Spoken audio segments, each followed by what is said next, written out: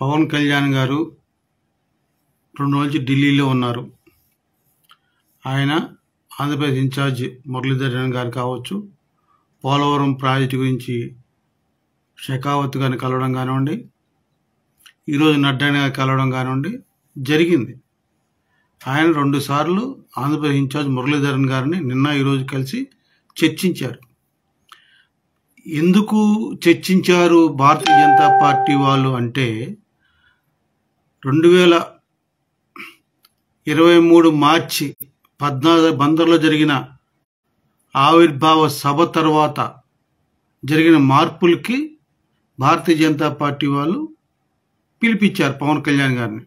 అంటే అప్పుడే రమ్మన్నారు కానీ పవన్ కళ్యాణ్ గారు వెళ్ళలేదు అప్పుడు.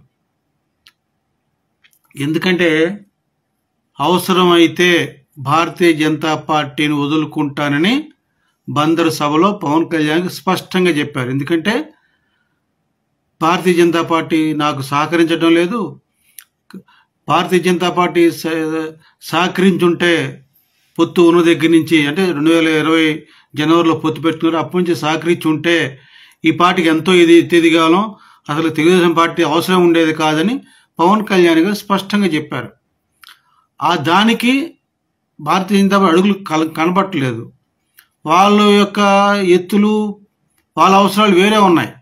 కానీ ఒక్కటి అవన్నీ ఈ టీవీ వాళ్ళకి తెలుసు ఈ పేటీఎం కుక్కలకు తెలుసు సోషల్ మీడియా కుక్కలకు తెలుసు. కానీ ఈ పవన్ కళ్యాణ్ గారు ఢిల్లీలో ఉన్నారు. వీరికి వెయిటింగ్ వెయిటింగ్ వెయిటింగ్ టీవీ నైనోడు.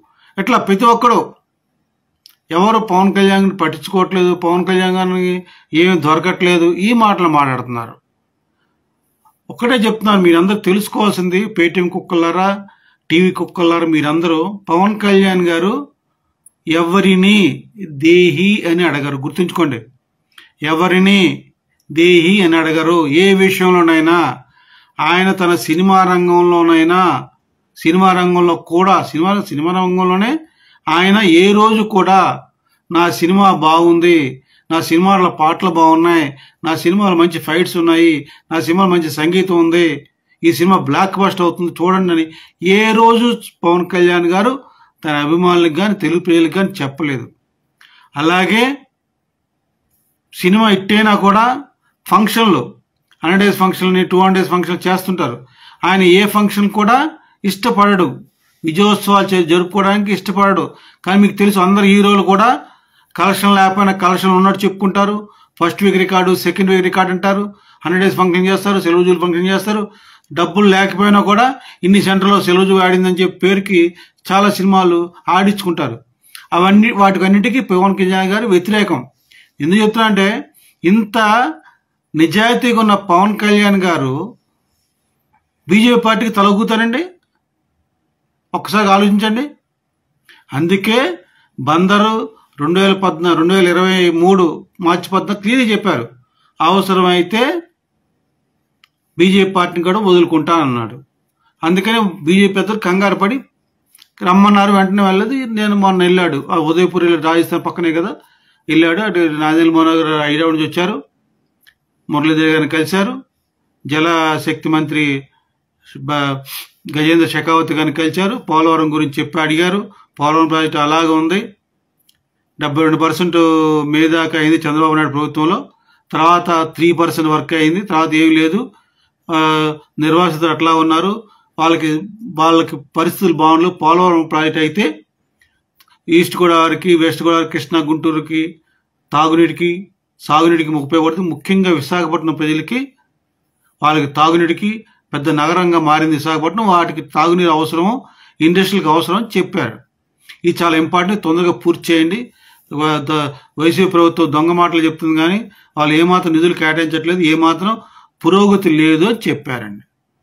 అలాగే ఈరోజు నడ్డాగా కలిశారు. ఈ నడ్డాగా కలిసే లోపల ఎన్ని మాటలు మాట్లాడారండి వీళ్ళు? ఈ టీవీ కుక్కలు పేటీఎం కుక్కలు సోషల్ మీడియా కుక్కలు? ఇప్పుడు ఏమంటారు? నడ్డగా కలిసారు ఏం చెప్పారు పవన్ కళ్యాణ్ ప్రెస్ మీట్లో? నేను ఓట్లు చీలనేవనే మాట కట్టుబడి ఉన్నాను. జగన్మోహన్ రెడ్డిని ఇంటికి పంపిస్తాను. వైసీపీ ప్రభుత్వాన్ని ఇంటికి పంపించాల్సిందే. అదే నేను స్పష్టం చేశాను. వాళ్ళు చెప్పారంటే వాళ్ళు చే- వాళ్ళు వాళ్ళు మాట్లాడుకుని చెప్తారు. ఆల్రెడీ రెండు రోజుల నుండి ఆయన స్పష్టంగా చెప్పింది అదే. కాకపోతే ఏంటంటే ఇంకో ట్విస్ట్ ఏంటంటే వాళ్ళు మన మీకు తెలియని భాజపా భారతీయ జనతా పార్టీ నాయకులు తెలుగు వాళ్ళు. వాడుకుంటారు వదిలేస్తారు. మనకు అది తెలిసిన విషయం. ఎందుకంటే మనకు ప్రత్యేక తర్వాత ఇస్తానని ఇవ్వలేదు కదా. అలాగే ఐదు అరు అరుణ్ జైట్లీ గారు ఆ వెంకయ్యనాయుడు గారు సుష్మా స్వరాజ్ గారు పార్లమెంట్లో రాజ్యసభల్లో ఐదు కాదు పది అని మాట్లాడారు పది సంవత్సరాలు ఇచ్చేస్తాం మీకు స్పెషల్ కేటగిరీ స్టేటస్ అని. ఏమి ఇచ్చారు? ఏమీ ఇవ్వలేదు. బూడిద. వీళ్ళు కవులు బాగా చెప్తారు భారతీయ జనతా జనతా పార్టీ వాళ్ళు కవులు చెప్తారు. పవన్ కళ్యాణ్ గారు గ్రహించారు.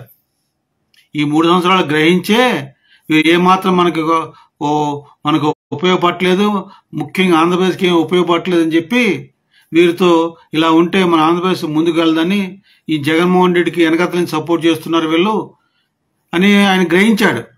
గ్రహించి చెప్పాడు.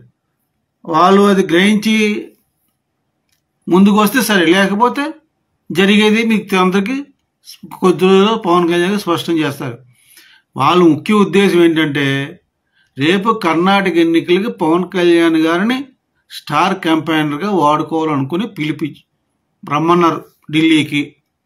అది ఆ వాళ్ళు ప్రపోజల్ పెట్టారు. పవన్ కళ్యాణ్ గారు ఇది ప్రపోజల్ పెట్టారు. వైసీపీ లేని వైసీపీ లేని పరిపాలన కావాలి. ప్రతిపక్ష ఓటు చూడకుండా ఉండాలి. ఆ ప్రకారం అడుగులు వేయాలని పవన్ కళ్యాణ్ ప్రపోజల్ పెట్టారు. రెండు ప్రపోజల్ కుదరలేదు. వాళ్ళు ఇప్పుడు ఇది మేలో ఎన్నికలు కదండి కర్ణాటక ఎన్నికలు ఈ ఎన్నికలకు ముందు వెళ్ళిపోండి మీరు. ఎన్నికలు మీరు క్యాంపెయిన్ చేసిన తర్వాత మనం ఆ విషయం మాట్లాడదామని వాళ్ళు చెప్పారు జరి- రెండు రోజులు ఎందుకు జరిగిందని కారణం మూడు రోజు రెండు రోజులు జరుగుతున్న తంతు ఇదే.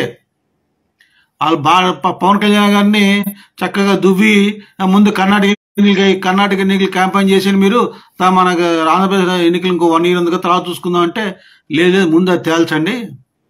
మీరు ముందు ప్రత్యక్షంగా జగన్మోహన్ రెడ్డికి సపోర్ట్ చేయము జగన్మోహన్ రెడ్డి లేని పరిపాలన ఆంధ్రప్రదేశ్ రాష్ట్రం తీసుకొస్తామని మీరు ముందుకు వస్తే అడుగులు వేస్తే అప్పుడు కర్ణాటక ఏంటి తెలంగాణ ఏంటి ఎక్కడికైనా వచ్చి నేను క్యాంపెయిన్ చేస్తాను ఇండియా మొత్తం తిరుగుతాను మీ పార్టీ కోసం అని చెప్పి. అంటే నేను చెప్తున్నాను అట్లా కర్ణాటక కోసం జరిగింది ఇది. ఇది విషయం అసలు విషయం ఇది. నేను చెప్తున్నాను జరిగింది ఇదే. కానీ ప్రతి ఏదో సోషల్ మీడియాలో ప్రతి ప్రతి ఏదో వచ్చి మాట్లాడేసడమే ఇది నిజం. పవన్ కళ్యాణ్ గారు దీనికి వెళ్ళారు. ఇది సత్యం. ఒక్కొక్కడు ఒక హెడ్డింగ్ అండి. అబ్బబ్బబ్బో ఎంత హెడ్డింగ్లు అండి అసలుకి. ఇప్పుడు గ్రహించారుగా? పవన్ కళ్యాణ్ గారు ఎవ్వరికి భయపడరు. ఎవరిని దేహిని అడగరు. ఆఖరికి రెండు వేల పంతొమ్మిది ఎన్నికల్లో జగ చంద్రబాబు నాయుడుని ఇంటి పంపిస్తానన్నారు. జగన్మోహన్ రెడ్డి ఒక ఫ్యాక్షన్ నాయకుడు. ఆ నాయకుడు వస్తే రాష్ట్రం అర్థ అధ్వానికి పాడైపోతుంది. బాగుపడదని చెప్పారు కానీ పవన్ కళ్యాణ్ నన్ను ముఖ్యమంత్రి అడిగారు? ఎక్కడన్నా? మీరు ఓట్లు వేస్తే అవుతా అని చెప్పారు అంతవరకే. ఎక్కడి మీటింగ్లో అయినా సరే మీరు ఓట్లేసి గెలిపిస్తే ముఖ్యమంత్రి అవుతాను. నాకు ఓటు వేసేయండి నా అభ్యర్థి గెలిపించునని ఎక్కడ చెప్పారు? చెప్పలేదు కదా. ఇప్పుడు ఇప్పుడు అంటున్నారు నాకు ఒక ఛాన్స్ ఇవ్వండి. కాపులు అంటున్నారు కదా కాపులు కాపులు అందరూ నాకు ఓట్లు వేయండి. వేయలేదు వేస్తే నేను గెలిచేవాడిని కదా గాజువాక భీమవరంలో. ఇప్పుడు మీరు ఓట్లు వేయండి. బలి బడుగు బలహీన వర్గాలందరూ కలిసి నాకు ఓటేయండి వేయండి. నేను ముఖ్యమంత్రి అవుతాను. నా సొంత డబ్బులు ఖర్చు పెట్టి మీకు సొంత డబ్బులతో మీకు సేవ చేస్తున్నాను కదా. అదే నేను ముఖ్యమంత్రిని అయితే ప్రజల సొమ్ముని భద్రంగా ప్రజలకు మొత్తం యాజ్ ఇట్ ఈస్గా ప్రజలకు అప్పచెప్తాను ప్రజల్ని బాగా చూసుకుంటా అని చెప్తున్నారు పవన్ కళ్యాణ్ గారు. కనుక ఆయన అంత గొప్పవాడు నీతి జాతి గల వ్యక్తి. ఈ ఏదో చెప్ టీవీల్లో సోషల్ మీడియాలో పేటీఎం కుక్కలు ఏమంటారు ట్విట్టర్లో ఇన్స్టాగ్రామ్ తెగబెట్టాలని ఆయన చూసి కడుపు మండిపోతుంది నాకు రెండు రోజుల నుంచి. రెండు రోజులు వీడియో చేయాలనుకున్నా కానీ తొందర లేదు మొత్తం అవుట్కమ్ వచ్చింది చేద్దాం అనుకున్నాను. ఇది అసలు విషయం. పవన్ కళ్యాణ్ గారు ఎప్పుడు ఒకే మాట. ఇప్పుడు అర్థమైందిగా మీకు? పవన్ కళ్యాణ్ గారు ఒకటే మాట ఎవరికి భయపడరు ఎవరిని దేహిని అడగరు. మంచి చేస్తా అని చెప్తారు మంచి కోసం పోరాడతారు. దానికే తుది శ్వాస వదిలిపెడతారు. ఎప్పటికైనా పవన్ కళ్యాణ్ గారు ఈ రా రేపు రెండు వేల ఇరవై నాలుగు ఎన్నికల్లో ముఖ్యమంత్రి కాబోతున్నారు. ప్రజలు ఆయనకి సపోర్ట్ చేస్తారు. ఎందుకంటే చూశారు కదా ఆయన ఖచ్చితంగా చెప్తున్నారు జగన్మోహన్ రెడ్డిని ఇంటికి పంపించాల్సిందే. దానికి బీజేపీ పార్టీ సహకరిస్తే సరే సరే లేకపోతే నేనే ముందుకెళ్తానంటున్నాడు ఆయన. అది తెలుగు ప్రజలు మీ అందరూ గమనించండి. మన రాష్ట్రానికి మంచి రోజులు వస్తున్నాయి. మంచి రోజులు వస్తున్నాయి. దానికి మీరందరి సహకారంతో పవన్ కళ్యాణ్ ముఖ్యమంత్రి అయితే మన రాష్ట్రం అన్ని విధాల పురోగతి సాధిస్తుందని మీకు తెలియజేస్తూ వివరించుకుంటున్నాను ఇంకోసారి ఇంకో వీడియో కలుసుకుంటా అండి. జై జనసేన. भारत माता की जय जय हिंद।